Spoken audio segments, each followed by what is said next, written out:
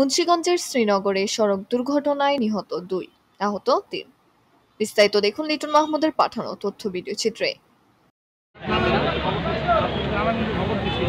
ঢাকা মাওয়া এক্সপ্রেসওয়ের শ্রীনগর উপজেলার উমপাড়া বটতলা বাস স্ট্যান্ডে ঢাকাগামী মোল্লা সাকুরা শরীয়তপুর তিন পরিবহনের সংঘর্ষে বাসের যাত্রী দুইজন নিহত হয়েছেন।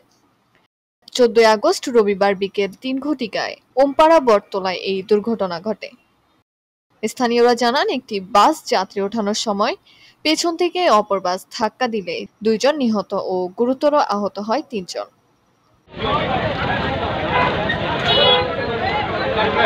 Srinagar fire service station officer Mohammad Mahfuz রিবেন জানান, উমপাড়া বটতলা বাস সংঘর্ষে ঘটনাস্থলে দুইজনের মৃত্যু হয়।